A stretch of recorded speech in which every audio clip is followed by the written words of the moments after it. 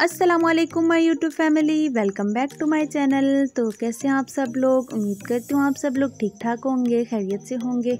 तो आज हम लोग बनाएँगे भिंडियाँ गोश्त और जिस मेथड से मैं आपको बताऊँगी, आप लोगों ने सेम उसी मेथड से बनानी है। तो आप लोग देखिएगा इन कितनी मज़े की आपकी भिंडियाँ बनेंगी। जिसको नहीं भी पसंद, वो भी खाएगा। तो बिना टाइम वेस्ट करे चलिए वीडियो स्टार्ट करते हैं।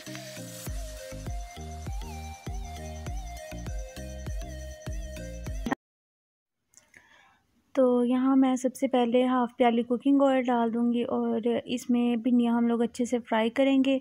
और जब आप लोगों ने भिंडियाँ फ्राई करनी है तो ये ये कोशिश करनी है कि इसमें नमी ना हो, ये अच्छे से ड्राई की हो।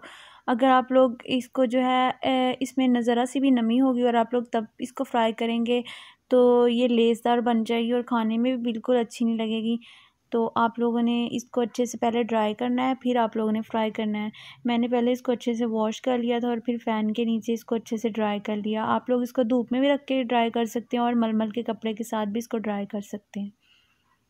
फिर जी हम लोगों ने इसको तब तक अच्छे से फ्राई करना है जब तक इसका लाइट गोल्डन कलर नहीं आ जाता। और आप लोगों ने इसको अच्छे से फ्राई करना है ताकि ये कच्ची कच्ची भी ना रह जाए तो वो भी खाने में बिल्कुल अच्छी नहीं लगती। तो यहाँ इसका देखें कलर जो है वो गोल्डन, लाइट गोल्डन आ चुका है तो अब मैं इसको निकाल लूँगी। और जी, और आप लोगों ने इसको जब ये स्टेन करना है तो आप लोगों ने कोशिश करनी है अच्छे से इसका ऑयल जो है वो सेपरेट हो जाए, ताकि ये ज़्यादा ऑयली ऑयली और चिपचिपी ना लगे खाने में। तो यहाँ जो बाकी जो थी भिंडियाँ, वो भी मैं निकाल लूँगी। और फिर जी, हम लोग इसको साइड पे कर देंगे और फिर इसका जो है सालन बनाना स्टार्ट कर देंगे। तो यहाँ देखिए मैं एक प्याली कुकिंग ऑयल डाल दूँगी और इसको हम लोग अच्छे से गर्म कर लेंगे। जब ये अच्छे से गर्म हो जाए तो इसमें मैं चार लार्ज साइज़ की प्याज ऐड कर दूँगी और मैं तो मोस्टली भिंडियों में इतना ही प्याज ऐड करती हूँ क्योंकि वन के जी भिंडियाँ थी और आप लोग जी अपनी क्वांटिटी के हिसाब से इसमें प्याज और बाकी स्पाइसेस वगैरह डाल सकते हैं।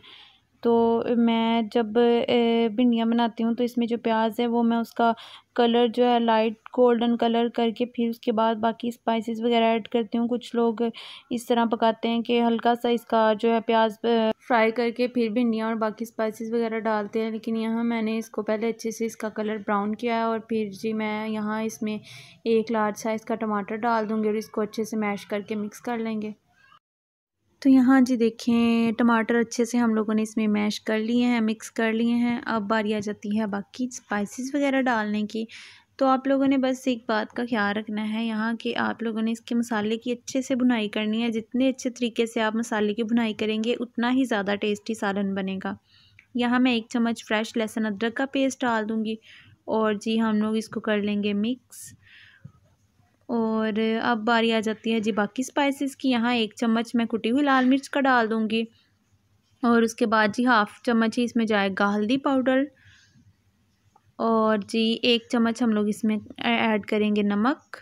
और अच्छे से कर लेंगे इसको मिक्स अब जी हम लोग इसमें ग्रीन चिली का पेस्ट ऐड कर देंगे। यहाँ एक चम्मच भर के मैंने फ्रेश ग्रीन चिली का पेस्ट ऐड किया है। इससे इसका फ्लेवर बहुत अच्छा आएगा। आप लोगों ने ये किसी भी सूरत स्किप नहीं करनी। तो अब मैं इसमें थोड़ा सा पानी ऐड कर दूँगी ताकि मसाला जो है वो हमारा अच्छे से रेडी हो जाए। यहाँ जी देखिए हम लोग इसको अच्छे से कर लेंगे मिक्स और अब आ जाती है बारी मैजिक की। तो जी यहाँ देखें ऑलमोस्ट रेडी है हमारा मसाला तो अब मैं इसमें इतनी क्वांटिटी में इमली ऐड कर दूँगी और इससे जो इसका फ्लेवर है ना बस, बहुत ज़्यादा अच्छा आएगा। आप लोगों ने ये लाज़मी ट्राई करनी है ये ट्रिक और उसके बाद जी आप लोग मुझे बताइएगा कि आप लोग की भिंडियाँ कैसी बनी हैं। आप लोग यहाँ इमली ऐड करेंगे ना तो इससे इसका फ्लेवर इतना मज़े का आएगा ना कि मैं बस बता नहीं सकती। आप लोग खुद बनाएँगे, ट्राई करेंगे, फिर आप लोग मुझे बताइएगा। तो जी, इमली तो मस्ट है, मैं तो इमली लाजमी ऐड करती हूँ। तो यहाँ जी देखें, अभी मैंने इसमें हाफ़ के जी जो है चिकन ऐड कर दिया और इसकी अच्छे से हम लोग बुनाई कर लेंगे। और जी बस आप लोगों ने यहाँ एक बात का ध्यान कि चिकन जो है वो आप लोगों का अच्छे से गल जाए। अगर चिकन कच्चा रह जाएगा ना तो वो खाने का बिल्कुल दिल नहीं करेगा। तो यहाँ मैं इसकी अच्छे से चिकन की बुनाई कर लूँगी और आप लोगों ने भी जी अच्छे से चिकन की बुनाई करनी है ताकि सालन जो हमारा वो अच्छा अच्छा बने।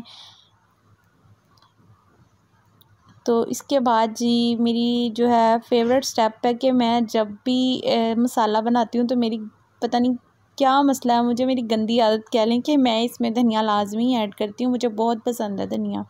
लेकिन आप लोग की मर्ज़ी है, आप लोगों ने कब ऐड करना, लास्ट में करना, लास्ट में ऐड कर लें।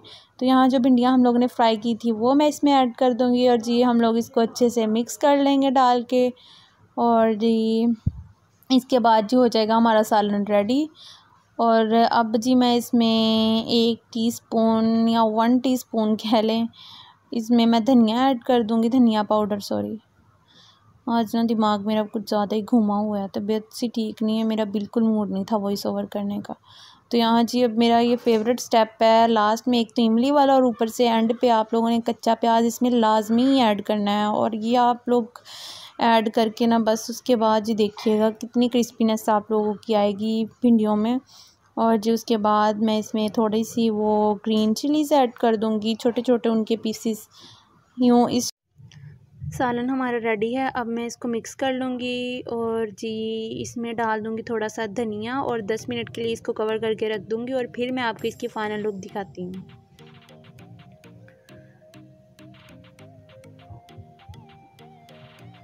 यहाँ जी देखिए मैंने इसको कवर कर दिया और जी ये रही इसकी फ़ाइनल लुक अगर आप लोगों को आज की मेरी रेसिपी अच्छी लगी हो तो मेरा चैनल सब्सक्राइब कर दें, वीडियो को लाइक कर दें और सब फ्रेंड्स के साथ शेयर कर दें। और मुझे इंस्टा पे लाजमी फ़ॉलो करिएगा मेरी इंस्टा आई डी है के नाम से। और जी, मिलते हैं नेक्स्ट वीडियो में। तब तक के लिए अपना रखिएगा ख्याल, मुझे रखिएगा दुआओं में याद। टेक केयर जी अल्लाह हाफिज़।